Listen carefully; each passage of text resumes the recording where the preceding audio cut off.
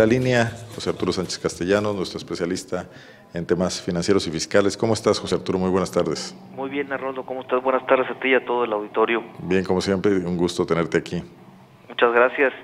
Igualmente, fíjate que vamos a hablar de, de una fecha que, pues no, no es muy famosa como tal, al revés. Este, yo creo que pocos la conocen, pero el próximo 2 de marzo se cumple un, una, una fecha fatal, un plazo fatal para que los más de 600 mil contribuyentes que recibieron cartas de Hacienda pidiéndose aclaraciones sobre sus depósitos en efectivo, pues se acerquen, aclaren, eh, eh, desvirtúen o en su caso contrario paguen, ¿verdad? Eh, hay que recordar que desde el mes de octubre del año pasado, el Servicio de Administración Tributaria ha pues enviado más de 600 mil cartas, como te decía, a todos aquellos contribuyentes que tuvieron depósitos en efectivo y que no reflejaron ningún ingreso, que no estaban en, eh, registrados en el SAT, que no presentaron declaración anual, etcétera. Bueno, ¿y se quitó el impuesto a, los depósitos en efectivo? ¿Esta es otra medida? Bueno, a ver, esto es muy interesante, Arnoldo. Efectivamente, se quitó el impuesto a los depósitos en efectivo, más no se quitó la obligación de los bancos de reportar quienes recibían depósitos en efectivo. Por eso es que el SAT sigue teniendo la misma información, que a final de cuentas eso es lo que le interesa. Realmente lo que recaude a través de esta eh, mecánica del impuesto sobre los depósitos en efectivo, pues no era, la, verdad, eh, muy importante, además de que ese impuesto se podía acreditar contra otros. Entonces, realmente lo que quería era la gran base de datos, que finalmente los bancos tuvieron que implementar, tuvieron que, eh, digamos, diseñar una plataforma en donde todos esos depósitos que se hacen en efectivo sean identificados y se genere de inmediato pues un aviso al SAT de quién es la persona que lo está recibiendo, eh, su domicilio, bueno, todos los datos que puede tener un banco. ¿no? Y bueno, pues a raíz de eso llegan estas famosas cartas de invitación para, para todos aquellos que pensaron que con la, eh, digamos, derogación de la ley del, de los impuestos, a del impuesto a los depósitos en efectivo, ya no iban a ser fiscalizados, pues no, malas noticias.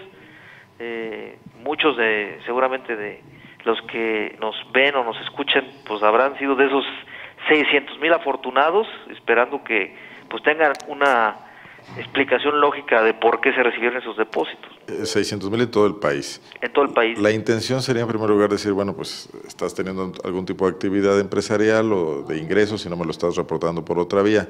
Pero también podría servir para conocer hasta cuestiones vinculadas a, hechos delictivos, ¿no? Bueno, es eh, eh, la invitación viene para que se aclare. obviamente, digamos, la la ama de casa que recibe una pensión o digamos la, pensión de su esposo para el gasto en su cuenta de cheques, pues no tiene problema en decirlo, ¿no? o alguna otra, una persona que ha recibido un préstamo o un donativo de su padre o de su cónyuge, pues tampoco tendrá problemas en decirlo. Pero aquel que efectivamente tiene una actividad, digamos, ilegal, por ejemplo, de, de que esté relacionada con eh, venta de piratería, por ejemplo, o el tianguismo, pues ahí tendrán un poco ya más problemas y evidentemente alguien que use el sistema financiero para utilizarlo eh, como control, como concentrador de, sus ingresos que son producto de actividades eh, de, delictivas como el narcotráfico o alguna otra, pues peor tantitos, ¿no? Pero pues al final de cuentas aquí eh, pagan justos por pecadores, pero como tú lo dices, bueno, pues al final el, el SAT lo que le interesa saber es qué actividades estás realizando que no estás reportándolas. Bueno, pero incluso se me hace poca la cifra de 600 mil en todo el país, José Arturo, para una economía informal tan grande como la que tenemos, ¿no? Bueno, eh, por el otro lado, si lo, si lo vemos desde ese punto de vista, quiere decir que ante la gran informalidad que se vive en el país y digamos la poca proporción de que son los 600 mil de esta informalidad, pues eso nos, nos da como, como resultado pues que hay un enorme movimiento de efectivo que no se registra en ningún lado y pero que ahí está. Que no está bancarizado. Así es, es correcto. Entonces, bueno, pues a ver el 2 de marzo qué pasa. Vamos a ver colas, o quizás no. ¿Cuál es la, la, la coerción, la amenaza si alguien no se presenta?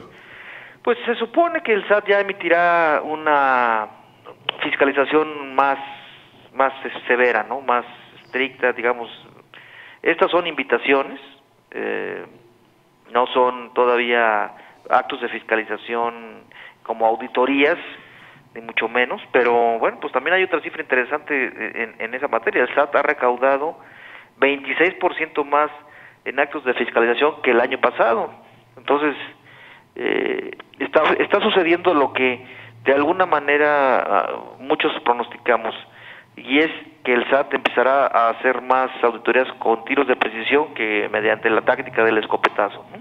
Muy bien, pues a estar atentos. Por otro lado, he leído muchas críticas al SAT en el sentido que están requiriendo demasiada información que no parece muy útil, por ejemplo, en los viajes al extranjero. Sí, bueno, mira, la información de los viajes al extranjero ya se daba desde antes, no por el contribuyente, se daba eh, mucho por las líneas aéreas e incluso hasta por las agencias de viajes. Si tú comprabas un boleto en primera clase, por ejemplo, para viajar al extranjero, ese era reportable desde hace varios años, porque con eso el SAT comparaba pues tu, tu, tus ingresos reportados contra tus gastos, entendiéndose que un viaje en primera clase pues requiere de un nivel económico, digamos, alto o medio alto y que debe estar reportado en una declaración de impuestos.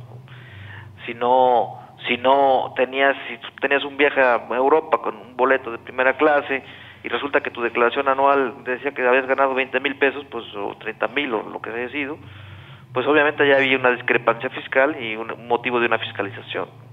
Entonces ahora se amplía más esta información a algo que parecería eh, totalmente exagerado, incluso violatorio hasta de las garantías individuales, que es el, hasta qué el número de asiento y cuántas maletas llevas y que si cuál es la ruta y que si es viaje redondo, viaje sencillo, todo eso. Mucha de esas, eh, eh, lo que no se ha dicho es que mucha de esa información es opcional. Si quiere la, la, la aerolínea la reporta y si no, no. Por ejemplo, el número de asiento, eso es opcional. Claro que ya un sistema computarizado puede proporcionar toda esa información, pero bueno, eh, según lo que comenta el SAT, eh, hay ciertos patrones que pueden indicar alguna irregularidad. Por ejemplo, un pasajero que viaja a Europa sin maleta, pues, pues es algo, digamos, inusual, ¿no?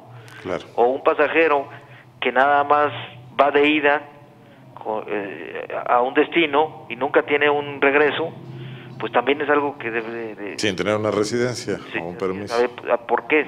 Entonces, bueno, pues eh, según las autoridades del SAT, estas, estas técnicas eh, incluso no son exclusivas de México, hay otros países que las hacen y este, son, sobre patrones ya muy definidos de ciertos comportamientos que indican que podrían indicar alguna actividad delictiva. La gran pregunta es cómo es que no detectan el enriquecimiento inexplicable teniendo esta fiscalización tan cercana, ¿no? Bueno, pues obviamente la fiscalización es efectiva hasta donde la apuntes, ¿verdad? Claro. No la quieres apuntar a un lado, pues nunca nunca va a ser efectiva, ¿no? Muy bien, José Arturo. Bueno, pues esa, cifra esa fecha está interesante, 2 de marzo, la semana próxima. Claro que ya, ya nos dirás cómo observas la reacción del, pues, de los contribuyentes, ¿no? Sí, vamos a ver qué, qué, qué manifiesta el SAT en ese sentido, si logró algo o simplemente fue una llamarada. ¿no? Bueno, ¿y tu candidato para el interino en León? Híjole. Te saqué ya de la jugada fiscal. pues no sé, pero yo creo que ese es un perfil conciliador y totalmente discreto desde mi punto de vista, ¿no? ya, retrato hablado, ya lo hiciste. Las aguas se van a mover con la contienda para que queremos más protagonismos. Muy bien, muy bien. Saliste bien del trance. Muchas gracias. Gracias. Nos vemos, buenas tardes. El contador José Arturo Sánchez Castellano, su opinión, su información sobre lo que nos espera a los contribuyentes en los próximos días. Bueno, vamos a continuar después de la pausa con una entrevista con